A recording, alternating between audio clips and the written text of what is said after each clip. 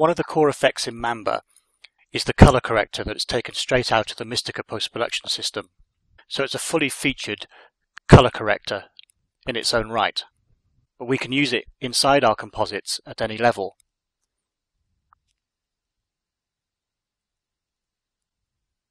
The color corrector has unlimited layers of color correction, and its default name for a layer of color correction is a vector, but by double clicking on these we can change them to whatever we want them to be. We can add extra layers here, and we'll look at that shortly. The color corrector itself is divided into different sections.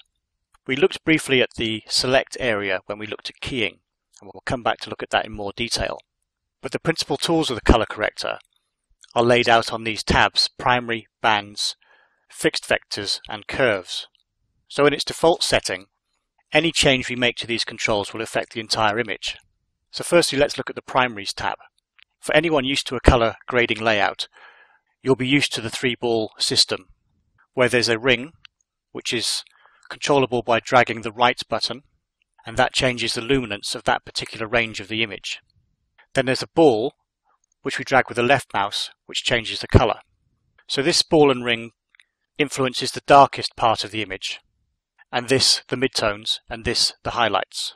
We have a numerical readout here and here, and that's just to help us see if there's a very small shift in color which we might not be able to detect if we're just looking at the ball itself. We can reset the ball and the ring separately with these two buttons. Over here we have a pick black and pick white function. What they'll do is if we select one of these functions and pick on the image. Depending on which one we pick, Mamba will make the necessary changes to the relevant ball and ring in order to make whichever pixel we picked to be exactly black or exactly white. So for example, if I were to pick in here, we can see that Mamba has dropped the luminance level by adjusting the luminance ring, and it's also made a color offset. So now the pixel we picked is exactly black. Likewise, if we pick white, Mamba has made an adjustment on the outer ring to bring the brightness up and made a slight offset in the color to make that pixel exactly white. So this is quite a good way of getting a neutral image before we start. I'm just going to clear by selecting my folder and hitting delete, which clears every single value. We can also use pick black and pick white in areas that aren't necessarily, from a luminance point of view, either black or white. For example, if I control and right click on the screen, you can see we get a little color reader come up. And we can see from this piece of tarmac that we'd expect to be grey actually shows the whole image has a slight red bias. We can see there's 0.33 red. Now if we picked black in there, we can obviously see that Mamba has been made to make quite a drastic adjustment to make that pixel black. But if we were to remove the settings that it's given for the luminance ring, we can see that that leaves us just the color change that it made, which has now taken out that red bias. At any point we can toggle on and off our color correction using the mute function here to see what changes we've made. This mute does the whole layer, so we'll mute the effect of all the tools on that particular layer. Alternatively, there's also an individual mute here just for the changes that we made in primaries. The other area in primaries are what's called printer lights, which is related to an older way of dictating color changes by giving instructions to film labs. But essentially, by clicking on these, we can add or remove an amount or a point of a particular color. So for example, clicking on red, see I'm adding red into the image for each click, or taking it away again and how much I add is either one, a half, or a quarter point. So putting it onto a quarter obviously makes the adjustment a lot finer. So that's the same for all the colours and also overall. We can also choose how those points are added. At the moment, with B+, plus, W+, plus, black and white, when I click one of these buttons, both the black level and the white level are being lifted at the same time. Alternatively, I could just apply my change in the blacks or just in the whites or as a contra move between the two. So where I add a click, blacks will go down, whites will go up. In other words, it will add contrast in that particular color. If I pull up a scope, and we'll have it on the RGB waveform, we can see more clearly how these are working. So for example, clicking the red channel, we can see the whole red channel is being offset because we're on this setting.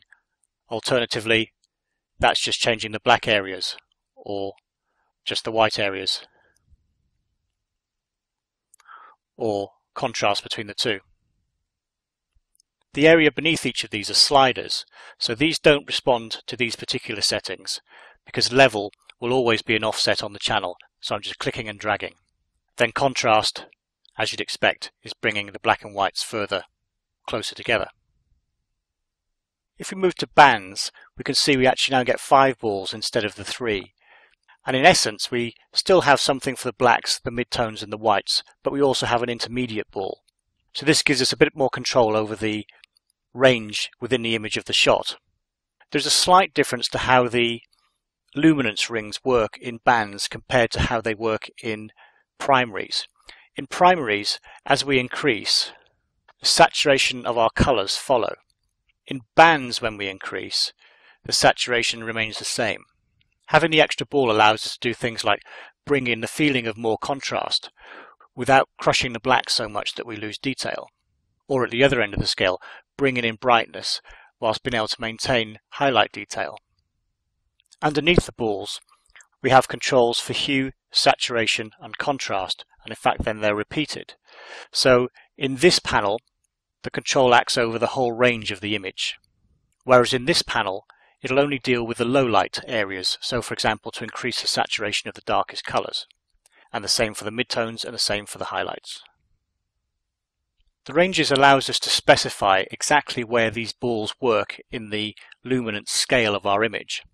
If I click and drag these out, essentially what this graph is telling us is that this is black and this is white. So the black ball will work in the range that starts here and ends there. And then the shadows ball will work in the range that starts there and ends at this first crossover. Then the mids then the highlights, and then the whites. So if we want to, we can redefine exactly where those balls work within the range. However, you might find that you really need to adjust these because a normal workflow would be to set in primaries the full range of your image. So in fact, bands will then be working where you'd expect them to be. The next thing to look at is fixed vectors. Essentially what we have is a panel of our primary and complementary colours repeated three times. So red, yellow, green, cyan, blue, magenta. So in the first panel, we're deciding exactly what colour that is. So you can see on the screen as I slide this up and down, whatever was considered yellow is now being redefined. Or on the next panel, this is changing the saturation of that colour. Or on the next panel it's changing the lightness of that color.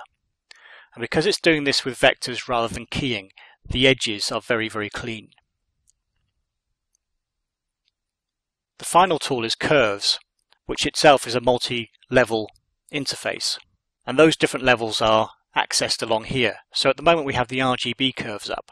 So they are essentially profiles to translate the incoming image to an outcoming image via a curve. By default gang is on, which means that if I make any change in any individual one of these curves, they'll all follow. So I'm going to turn that off. And the important thing to recognize is that this bar, unlike the key graph display, this doesn't represent time. This represents, in this case, incoming level of the red channel. So to add a point, I can just hold down Alt and click, and now that can give me a control to change the profile of the curve. There are some controls here to help us. Pressing low shows us the bottom part of the curve for fine detail or high and the constrain as well so that we can ensure that we're only moving in one axis. We can also change the style of our key points just like we can in a graph so they're on smooth at the moment they could be on sharp, they could have connected tangents or broken tangents. And we can reset our graphs down here. So on this tab we have curves for red, green and blue. On the next one, we have three different graphs. So this first one is luminance to luminance. So this allows us to enter a profile to change how the luminance is transformed. So for example, if I did something like this, what we'd be saying is that when the incoming luminance is at 41%, it needs to be transformed out to 70%. So that's why you can see the lift. So that's only acting in the luminance channel, it's not affecting the saturation. The next one along is saturation to saturation. So what this is saying is, depending on the incoming saturation level, what to do with it. At the moment, it's left alone. It's left as 100% of whatever the incoming was. But something like this would actually say that if the incoming pixel is low in saturation, leave it alone. And if it's high in saturation, then reduce it. And this one is luminance to saturation, something similar to the previous one, but based on luminance. So the same graph in here would say that dark pixels don't have their saturation changed, but light pixels have their saturation reduced. Then the next one along is hue to hue. So this allows us to rotate the hue in a particular area. Now we can either find our color manually, or we can use one of the picks. You see there's three varieties. Pick 0 allows us to find on the graph the color that we've picked, but not insert a point. Whereas with pick 1, Mamba will insert a point for us. However, a single point is rarely that useful because, of course, if I pull this, I'm pulling the whole graph, so the whole image is, is having a hue rotation. So pick 3 gives us two arbitrary other points in order to restrict our change to the color that we've picked. Now this is a wraparound display, so you can see that the other point is actually at this end of the display. Obviously, as you know, the hue is a circular thing. So with three points, it allows me to make a change just to the color that I've picked plus a certain amount of fall off, which of course I can change by moving these around. Then the same way we have hue to saturation, so we can pick a particular color and say that that is more or less saturated, and hue to luma, so we can pick a particular color and say that should be lighter or darker.